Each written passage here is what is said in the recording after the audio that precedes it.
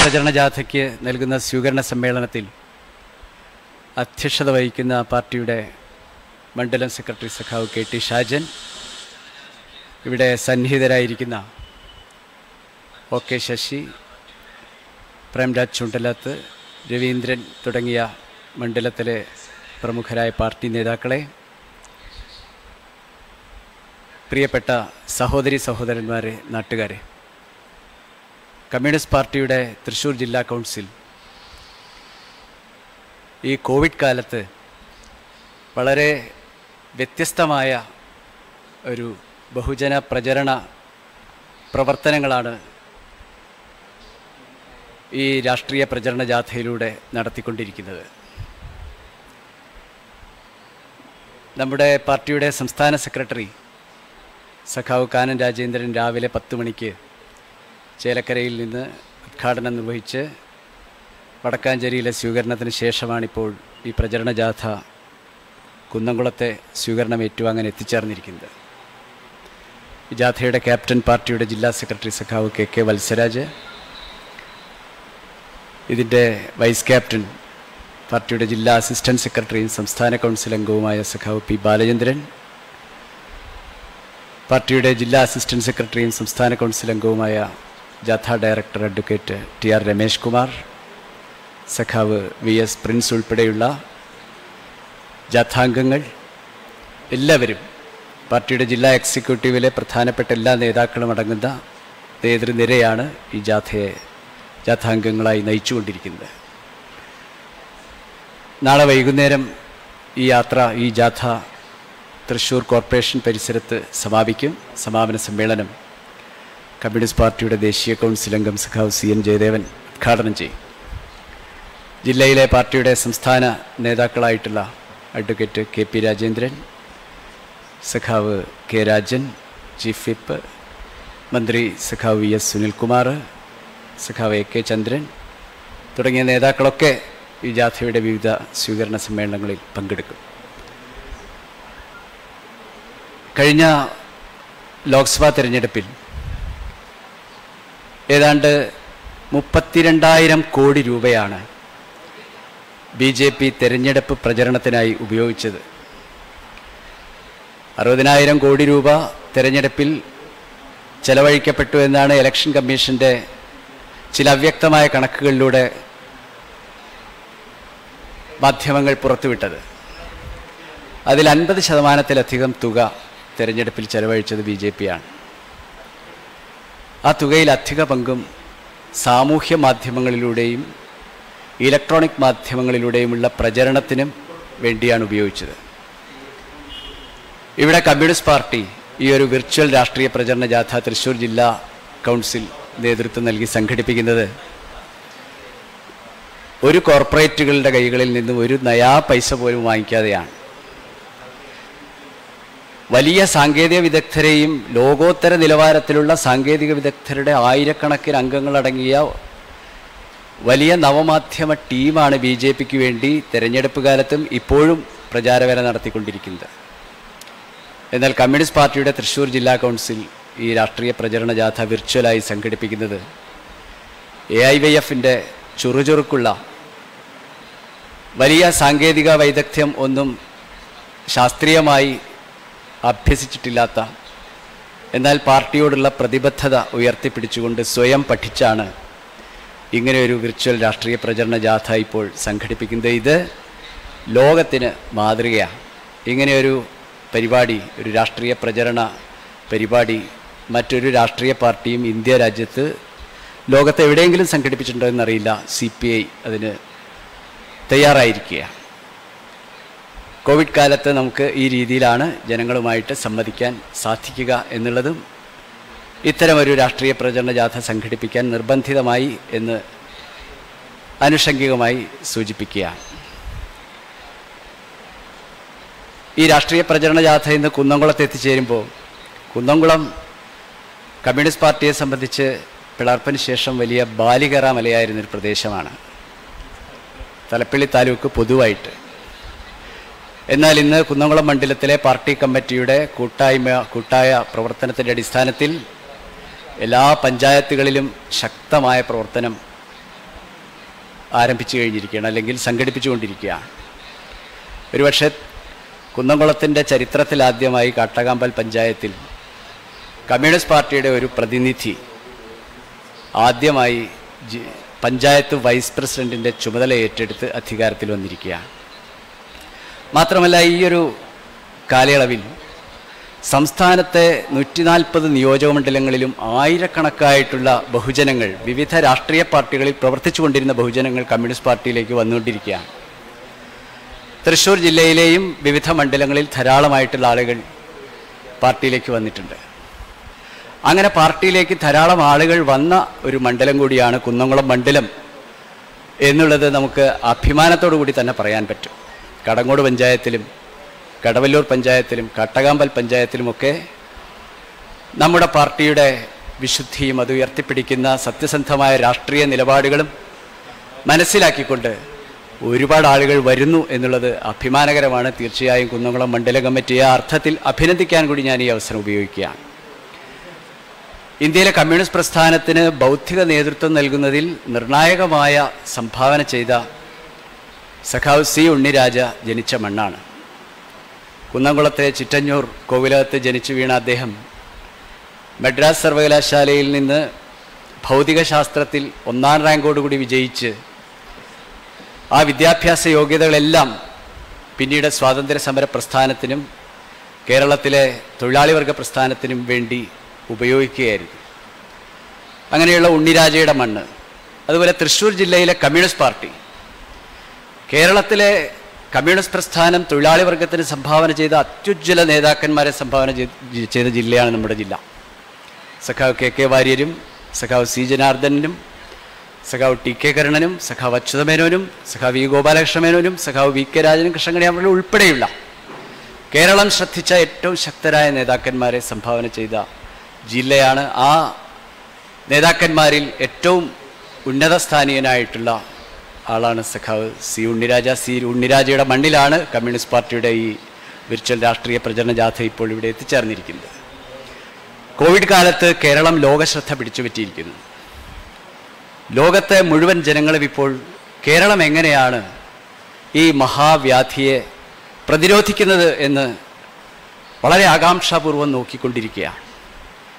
കേരളത്തിന്റെ കേരള സർക്കാരിന്റെ പ്രവർത്തനങ്ങളെയും പ്രത്യേകിച്ച് കേരളത്തിലെ ആരോഗ്യവകുപ്പ് മന്ത്രിയുടെ പ്രവർത്തനങ്ങളെയുമൊക്കെ ലോകത്തിലെ വലിയ വാർത്താമാധ്യമങ്ങളൊക്കെ വളരെ പ്രാധാന്യത്തോടുകൂടി അവരെ പ്രശംസിക്കുകയും വാർത്തകൾ നൽകുകയും ചെയ്തത് നാം കണ്ടു കഴിഞ്ഞതാണ് കേരളത്തിന് അങ്ങനെ ഒരു സാധ്യതയുണ്ടായി.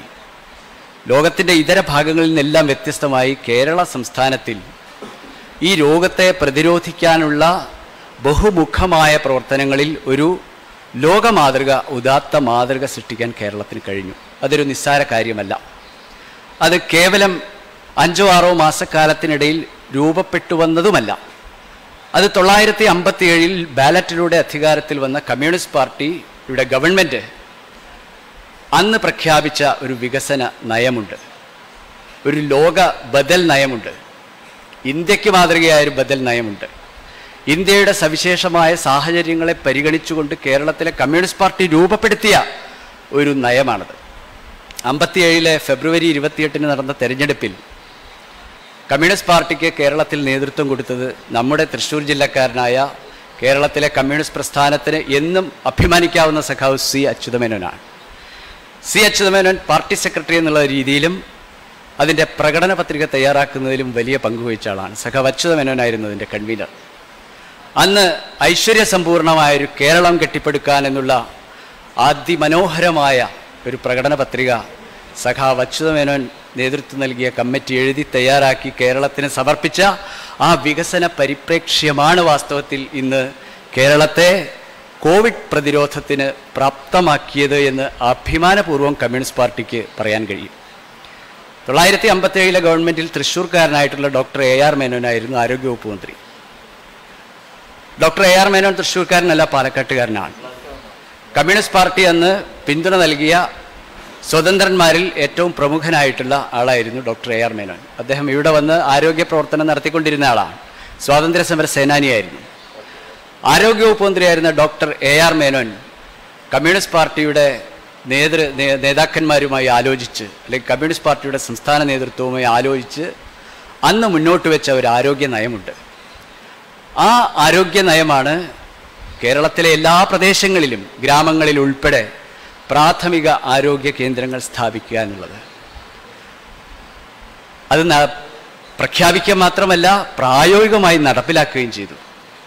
അത് തുടക്കം കുറിച്ചത് തിരുവനന്തപുരത്ത് മാത്രം ഒരു മെഡിക്കൽ കോളേജ് ഉണ്ടായിരുന്ന കേരളത്തിൽ ഐക്യ കേരളത്തിൽ പുതിയൊരു മെഡിക്കൽ കോളേജ് തുടങ്ങണം എന്ന് തീരുമാനിച്ചപ്പോൾ താരതമ്യേന അവികസിതമായ മലബാറിന്റെ ആസ്ഥാനമായ കോഴിക്കോട് മെഡിക്കൽ കോളേജ് സ്ഥാപിക്കണമെന്ന് ഡോക്ടർ എ ആർ മേനോനും കമ്മ്യൂണിസ്റ്റ് പാർട്ടിയും തീരുമാനിച്ചാണ് ഇന്ന് ഏറ്റവും പ്രശസ്തമായ കോഴിക്കോട് മെഡിക്കൽ കോളേജ് പ്രവർത്തിച്ചുകൊണ്ടിരിക്കുന്നത്. ഞാൻ സൂചിപ്പിക്കുന്നത് ആരോഗ്യരംഗത്ത് വളരെ സാധാരണ മനുഷ്യരെ മുന്നിൽ കണ്ടുകൊണ്ടുള്ളൊരു നയം കമ്മ്യൂണിസ്റ്റ് പാർട്ടി എന്ന് രൂപീകരിച്ച് മെഡിക്കൽ കോളേജുകൾ നിരവധി പിൽക്കാലത്ത് സ്ഥാപിച്ചു. തൃശ്ശൂരിലെ മെഡിക്കൽ കോളേജ് സഖാവ് അച്യുതമേനന്റെ സംഭാവനയാണ് അമല മെഡിക്കൽ മിഷൻ. അത് സ്ഥാപിച്ചത് സഭയായിരുന്നെങ്കിൽ പോലും ആ മെഡിക്കൽ കോളേജ് ഒരു ക്യാൻസർ റിസർച്ച് സെന്ററായി വളർത്തിക്കൊണ്ടുവരിക എന്നുള്ള ദീർഘവിഷത്തിന്റെ അടിസ്ഥാനത്തിൽ സഖാവ് അച്യുതമേനോനാണെന്ന് ഈ വിലങ്ങൻകുന്ന് മേഖലയിലുള്ള സ്ഥലം സർക്കാർ ഉടമസ്ഥയിലുണ്ടായിരുന്ന സ്ഥലം സൗജന്യ നിരക്കിൽ സഭയ്ക്ക് കൊടുത്ത് അവിടെ ഒരു ക്യാൻസർ റിസർച്ച് സെന്റർ സ്ഥാപിക്കണം എന്നുള്ള നിർദ്ദേശത്തോടെ തൊള്ളായിരത്തി എഴുപതിൽ നടപ്പിലാക്കിയത്. അപ്പം ഞാൻ സൂചിപ്പിക്കുന്നത് അമ്പത്തിയേഴിലെ നയം നടപ്പിലാക്കാൻ രാജ്യത്തെ വർഗീയ മതമൗലികവാദ ശക്തികൾ സമ്മതിച്ചില്ല. വിമോചന സമരത്തിലൂടെ അതിനെ അട്ടിമറിച്ചു. ആ ഗവൺമെന്റ് കേവലം രണ്ടര വർഷക്കാലത്തിൽ കുറഞ്ഞ കാലയളവിൽ മാത്രമാണ് അധികാരത്തിലിരുന്നതെങ്കിലും അത് ഇന്ത്യക്കൊരു മാതൃകയായി ഒരു ദിശാമുഖം നൽകുന്ന നയങ്ങളാണ് നടപ്പിലാക്കിയത്.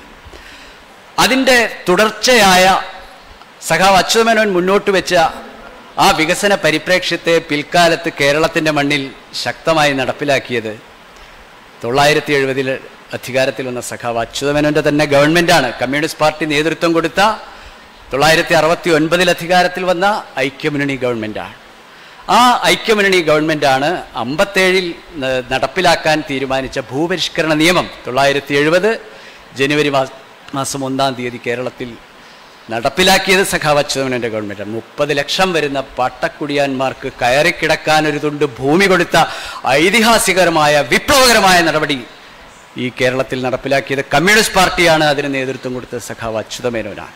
അതുമാത്രമല്ല ആ ഗവൺമെന്റ് നിർവഹിച്ചിട്ടുള്ള ദൗത്യം എന്ന് നിങ്ങൾക്കറിയാം. ഞാൻ അതിനെക്കുറിച്ച് വിശദീകരിക്കാനല്ല ഇത് പറഞ്ഞത്. ആ ഗവൺമെന്റാണ് വന ദേശവൽക്കരണം നടപ്പിലാക്കിയത് കായൽ ദേശവൽക്കരണം നടപ്പിലാക്കിയത് ജലാശയങ്ങൾ പൊതുടമസ്ഥയിലാക്കിയത് വനം വകുപ്പ് ഉണ്ടാക്കിയത് ഒട്ടേറെ ഗവേഷണ സ്ഥാപനങ്ങളും സർവകലാശാലകളും കേരളത്തിൽ സ്ഥാപിച്ചത് ആ ഗവൺമെന്റാണ് ആ ഗവൺമെന്റിന്റെ പ്രവർത്തനങ്ങളാണ് വാസ്തവത്തിൽ വികസന രംഗത്ത് ഒരു കേരള ബദൽ എന്ന് ലോകമാകെ ചർച്ച ചെയ്യാൻ പ്രേരിപ്പിച്ചത് സഖാവ് അച്യുതമേനോനും കമ്മ്യൂണിസ്റ്റ് പാർട്ടിയും നേതൃത്വം നൽകിയ ആ ഗവൺമെന്റിന്റെ പ്രവർത്തനങ്ങളാണ്. അതിലേറ്റവും പ്രാമുഖ്യത്തോടെ പരിഗണന നൽകിയ വിഷയങ്ങളിൽ ഒന്നാണ് വിദ്യാഭ്യാസവും ആരോഗ്യവും. ഒരു രാജ്യത്തിന്റെ ഒരു ജനപഥത്തിന്റെ മുന്നോട്ടുള്ള പ്രയാണത്തിന് പുരോഗതിക്ക് വികസനത്തിന് അടിസ്ഥാന ആവശ്യമായി എപ്പോഴും പരിഗണിക്കപ്പെടേണ്ടത് വിദ്യാഭ്യാസവും ആരോഗ്യവും തന്നെയാണ്.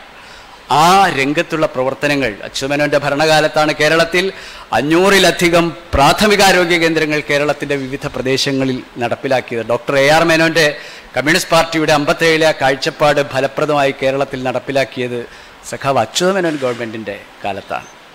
ആ നയം പിന്നീട് അതിൽ നിന്ന് പിറകോട്ട് പോവാൻ പിൽക്കാലത്ത് അധികാരത്തിൽ വന്ന ഒരു ഗവൺമെന്റിനും കഴിഞ്ഞിട്ടില്ല. അമ്പത്തേഴിലെ സി പി ഐ ഗവൺമെന്റ് അറുപത്തി ഒൻപത് മുതൽ എഴുപത്തേഴ് വരെ നിലനിന്ന സഖാവ് അച്യുതമേനോൻ നേതൃത്വം നൽകിയ കമ്മ്യൂണിസ്റ്റ് പാർട്ടി നേതൃത്വം നൽകിയ ഐക്യമുന്നണി ഗവൺമെന്റ് അതിനെ തുടർന്ന് തൊള്ളായിരത്തി എൺപത് മുതൽ കേരളത്തിൽ മാറി മാറി അധികാരത്തിൽ വന്ന ഇടതുപക്ഷ ജനാധിപത്യ മുന്നണി ഗവൺമെന്റ് മുന്നോട്ട് വെച്ച ആ വികസന നയം.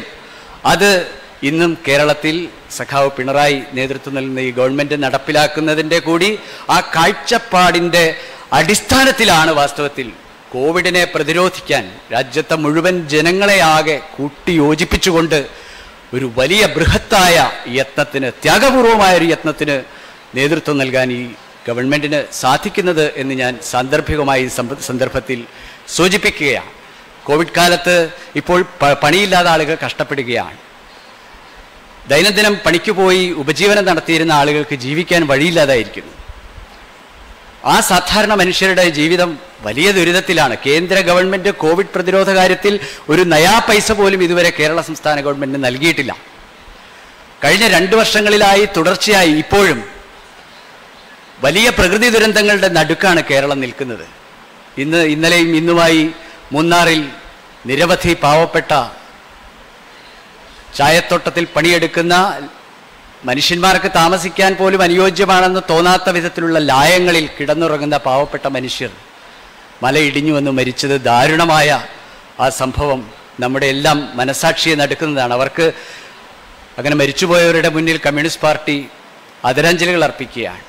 അതോടൊപ്പം തന്നെയാണ് നമ്മെ ആകെ സ്തബ്ധരാക്കിയ കോഴിക്കോട് വിമാനത്താവളത്തിലെ കരിപ്പൂർ വിമാനത്താവളത്തിലെ ആ ദുരന്തവും കേരളത്തെ നടുക്കിയിരിക്കുകയാണ്. ഞാൻ പറഞ്ഞു വന്നത് ഈ പ്രകൃതി ദുരന്തങ്ങളുടെ എല്ലാം പശ്ചാത്തലത്തിലും കേരളം പിടിച്ചു നിൽക്കുകയാണ് അത് ഈ വികസന നയത്തിന്റെ കരുത്തുകൊണ്ടാണ്. കേരളം പിടിച്ചു നിൽക്കുകയാണ് കേരളത്തിൽ തൊള്ളായിരത്തി പ രണ്ടായിരത്തി പതിനെട്ടിലെ പ്രളയം അത്ര വലിയ നാശനഷ്ടങ്ങളാണ് ഉണ്ടാക്കിയത്. പതിനായിരക്കണക്കിന് ആളുകൾ ഭവനരഹിതരായി. പത്തൊൻപതിലെ പ്രളയവും അതേപോലെ തന്നെ വലിയ ദുരന്തങ്ങൾ. വയനാട്ടിലെ പുതുമലയിലും നിലമ്പൂരിലെ കവളപ്പാറയിലുമൊക്കെ എത്രയോ സഹോദരി സഹോദരന്മാർ ജീവൻ ബലിയർപ്പിക്കേണ്ടി വന്നു. മരണപ്പെടുകയുണ്ടായി. അവരുടെ എല്ലാം പുനരധിവാസ പ്രവർത്തനം ഈ ഗവൺമെന്റിന് വലിയ വെല്ലുവിളിയാണ്. അത് ഏറ്റവും മാതൃകാപരമായി നടപ്പിലാക്കുകയാണ് കഴിഞ്ഞ രണ്ട് മൂന്ന് വർഷക്കാലമായി ഗവൺമെന്റ് ചെയ്തത്. കേന്ദ്രം ഭരിക്കുന്ന ബി ജെ പി ഗവൺമെന്റ് രാഷ്ട്രീയമായി കേരളത്തിലെ ഇടതുപക്ഷ ഗവൺമെന്റിനെ ദ്രോഹിക്കുകയും ഉപരോധിക്കുകയും ചെയ്യുമ്പോഴും കേരളം പിടിച്ചു നിൽക്കുകയാണ്. ജി എസ് ടിയുടെ വിഹിതം പോലും കേരളത്തിന് അർഹപ്പെട്ട നാലായിരം കോടി തരുന്നില്ലെന്ന് മാത്രമല്ല പ്രളയ ദുരിതാശ്വാസ പ്രവർത്തനങ്ങൾക്ക് ജനസംഖ്യാനുപാതികമായെങ്കിലും കേരളത്തിന് ജനാധിപത്യപരമായി അവകാശപ്പെട്ട വിഹിതങ്ങളോ പദ്ധതി തുകകളോ കേരളത്തിന് നൽകാതെ കേരളത്തെ ശ്വാസം മുട്ടിക്കുന്ന നടപടി മോഡി ഗവൺമെന്റ് സ്വീകരിക്കുകയാണ്. അങ്ങനെ ഒരു ഘട്ടത്തിലും കേരളം പിടിച്ചു നിൽക്കുന്നു. ലൈഫ് പദ്ധതിയിലൂടെ വീടില്ലാത്തവർക്ക് മുഴുവൻ വീടുണ്ടായി കൊടുക്കുകയാണ്. വേണമെങ്കിൽ കേരളത്തിലെ ഗവൺമെന്റിന് ഒരു മാർഗദർശകമായത് തൃശ്ശൂരിലെ കമ്മ്യൂണിസ്റ്റ് പാർട്ടിയാണ്. കമ്മ്യൂണിസ്റ്റ് പാർട്ടിയുടെ കഴിഞ്ഞ തൃശ്ശൂർ ജില്ലാ സമ്മേളനം തീരുമാനിച്ചു. വീടില്ലാത്തവർക്ക് പാർട്ടിക്ക് കഴിയാവുന്നത്ര വീടുണ്ടാക്കി കൊടുക്കുക. ഇപ്പോൾ ഏതാണ്ട് നൂറോളം വീടുകൾ കമ്മ്യൂണിസ്റ്റ് പാർട്ടിയുടെ തൃശ്ശൂർ ജില്ലാ കൗൺസിലിന്റെ തീരുമാനപ്രകാരം ജില്ലയിലെമ്പാടും നടപ്പിലാക്കി കഴിഞ്ഞു എന്നാണ് ഞാൻ വിചാരിക്കുന്നത്. ഞാൻ എന്റെ ഓർമ്മ ശരിയാണെങ്കിൽ ആ പദ്ധതി പ്രകാരം ആദ്യത്തെ വീട് നിർമ്മിച്ച് ഏറ്റവും ശുഷ്കാന്തിയോടെ ജാഗ്രതയോടെ പ്രവർത്തിച്ച് കമ്മ്യൂണിസ്റ്റ് പാർട്ടിയുടെ സംഘടനാപരമായി ദുർബല ദുർബലമായ മണ്ഡലമാണെങ്കിലും ആദ്യത്തെ വീടിന്റെ താക്കോൽദാനം കമ്മ്യൂണിസ്റ്റ് പാർട്ടിയുടെ സെക്രട്ടറി സഖാവ് കാനൻ രാജേന്ദ്രൻ നിർവഹിച്ചത് കുന്നംകുളം മണ്ഡലത്തിലെ കാട്ടകാമ്പാൽ പഞ്ചായത്തിലാണ്.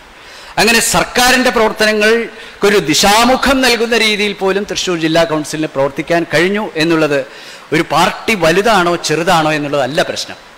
ആ രാഷ്ട്രീയ പാർട്ടി മുന്നോട്ട് വയ്ക്കുന്ന മാനവികവും രാഷ്ട്രീയവും ജനാധിപത്യപരവുമായ നിലപാടുകളാണ് ഒരു പാർട്ടിയെ ജനങ്ങൾക്ക് സ്വീകാര്യമാക്കുന്നത് ആ സ്വീകാര്യതയുടെ ബലമാണെന്ന് ഇടതുപക്ഷ ജനാധിപത്യ മുന്നണി ശക്തമായി കേരളത്തിൽ മുന്നോട്ട് പോകുന്നതിന് കാരണമായിട്ടുള്ളത്. ഈ നയം ഇന്ന് വലിയ വെല്ലുവിളികളെ നേരിടുകയാണ്. ലക്ഷം വീട് പദ്ധതി സഹ അച്ചു അച്യുതമേനോന്റെ ഗവൺമെന്റ് കാലത്ത് എം എൻ ഗോവിന്ദനാരായണ നടപ്പിലാക്കിയത് നിങ്ങൾക്കറിയാം. അത്തരം ജനക്ഷേമകരമായ പദ്ധതികൾ എല്ലാ വിഭാഗം തൊഴിലാളികൾക്കും കോവിഡിൽ പട്ടിണി കിടക്കുന്ന മുഴുവൻ മനുഷ്യന്മാർക്കും കേരളത്തിലെ ഇടതുപക്ഷ ജനാധിപത്യ മുന്നണി ഗവൺമെന്റ് വിവിധ ക്ഷേമനിധി പദ്ധതികളിലൂടെ ആനുകൂല്യങ്ങൾ വിതരണം ചെയ്തിരിക്കുകയാണ്. എല്ലാത്തരം പെൻഷൻ പദ്ധതികളും കേരളത്തിൽ സുശക്തമായി നടപ്പിലാക്കി. പൊതുവിതരണ സമ്പ്രദായത്തെ ഈ സമയത്ത് അതിശക്തമായി കെട്ടിപ്പടുത്തു. സഖാവ് തിലോത്തമന്റെ നേതൃത്വത്തിൽ കോവിഡിന്റെ ദുരിതമനുഭവിക്കുന്ന മുഴുവൻ ആളുകൾക്കും റേഷൻ കാർഡുള്ള മുഴുവൻ കുടുംബങ്ങൾക്കും ഇരുപത്തഞ്ച് കിലോ അരി സൗജന്യമായി നൽകി ഇരുപത് വിഭവങ്ങൾ അടങ്ങിയ കിറ്റുകൾ എല്ലാ വീടുകളിലും എത്തിച്ചു ഇപ്പോൾ ഓണം വരാൻ പോവുകയാണ്. ഓണക്കാലത്ത് കോവിഡിന്റെ ദുരിതം പ്രളയത്തിന്റെ ദുരിതം അതിന്റെ എല്ലാ കഷ്ടപ്പാടുകളും നമ്മുടെ നാട്ടിലെ സാധാരണ മനുഷ്യർ അഭിമുഖീകരിക്കുമ്പോൾ അവരുടെ വീടുകളിലേക്ക് റേഷൻ കടകളിലൂടെ അരിയും പലവ്യഞ്ജനങ്ങളും എത്തിക്കാനുള്ള ഭഗീരഥ പ്രയത്നത്തിൽ ഇടതുപക്ഷ ജനാധിപത്യ മുന്നണി ഗവൺമെന്റ് എത്തിച്ചേർന്നിരിക്കുക ഇതിനെയെല്ലാം ജനങ്ങളുടെ മുന്നിൽ ആക്ഷേപകരമായി അവതരിപ്പിക്കാനാണ് കേരളത്തിലെ പ്രതിപക്ഷം ശ്രമിക്കുന്നത്. പ്രതിപക്ഷത്തിന് സത്യത്തിൽ യാതൊരു അജണ്ടയുമില്ല നമ്മുടെ നാട്ടിൽ. ഇടതുപക്ഷ ജനാധിപത്യ മുന്നണി ഗവൺമെന്റിന് കൂടുതലായി ലഭിച്ചുകൊണ്ടിരിക്കുന്ന ബഹുജന സ്വീകാര്യതയെ മറച്ചുപിടിക്കാൻ അനാവശ്യമായിട്ടുള്ള അടിസ്ഥാനരഹിതമായിട്ടുള്ള ആരോപണങ്ങളുമായിട്ടാണ് രമേശ് ചെന്നിത്തലയും കൂട്ടുകാരും ഇപ്പോൾ രംഗത്തിറങ്ങിയിരിക്കുന്നത്. കോവിഡ് ബാധയിൽ ഒരുപക്ഷെ അവർ നടത്തിയ ഈ അനാവശ്യ സമരങ്ങൾക്ക് പോലും പങ്കുണ്ട് എന്നാരെങ്കിലും പറഞ്ഞാൽ തെറ്റു പറയാൻ പറ്റില്ല.